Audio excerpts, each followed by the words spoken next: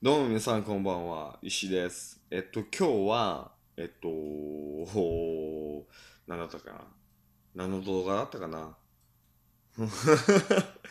あ、違うわ。えっとね、今日はね、えっと、オイル交換をしてみたっていう動画なんですけど、簡単に、簡単に、簡単に、え簡単にやってるので、え何回簡単にって言うんだっていう話なんだけど、とりあえず、あのー見ていただけたら嬉しいです。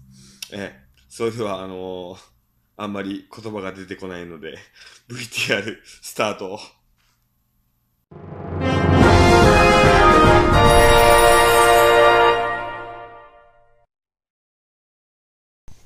はい。ではね、えー、ではね、えー早速、オイル交換したいと思います。ほんとね、用意するものはね、まあ、ドレーンを外す、ここれ。工具。これね、ドレーンの頭がね、19ミリなんで、えー、19かな？うん、19。見えるかな？うん、なんとなく見える？なんとなく、なんとなく見えねえか？うん。で、えーっと、まあ、えーっと、ドレーンは、はい、ここ。はい。おこのオイルオイルのタンクはここにありますね。でね、これをね、こう、じゃあ、ちょっとカメラ持ちながらなんで、あれなんですけど、いきますね。こう、緩めます。はい。で、こうやって、まあ、あの、暑い時とかはね、気をつけてくださいね、エンジンね。うん。これちょっと冷たいんであれですけど、見えないよね。見えないよね。見えないよね。よし。これね。ちょっとね。これね。で、いきますよ。で、あのね、これね、なんかいろいろ工具あるみたいなんだけど、僕はもう素手でやります。ね。で、取ります。だけど、オイル出てこない。なんでかって言ったら、もう、抜いてるから。抜いてるから。うん。じゃあ、急遽思いついたからね、ちょっとね。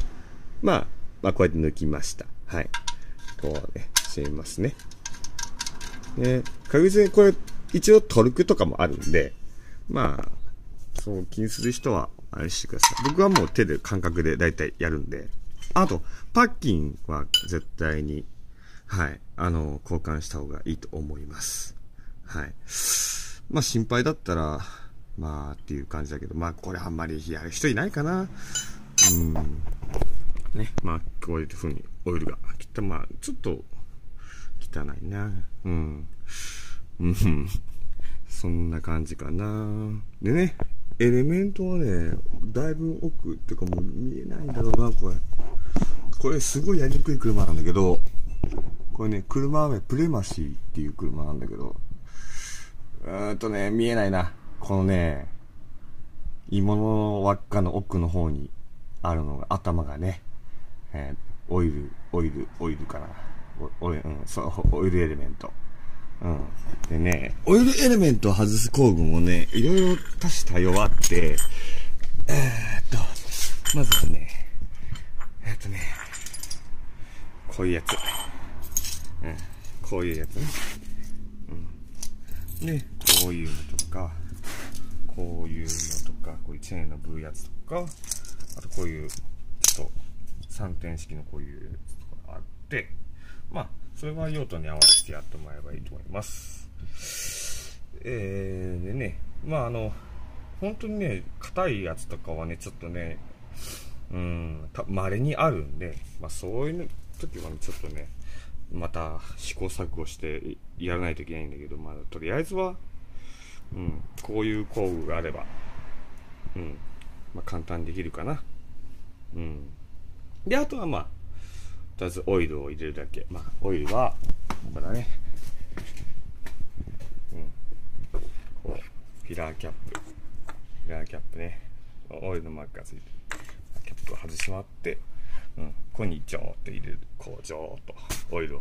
はい。で、量はね、だいたい、ね、こう書いてあるけど、まあ、どうだろうな。いいかな。うん。あ、ここだね。こう。L と F。まあ、いろいろ表記あるけど、うん。まあ、大体この真ん中ぐらいとかの方が適量かな。うん。満杯まで入れちゃうと結構、あれだからね。まあ、そんな感じです。ちょっと説明不足ですいません。Step on the land, I've got your hand.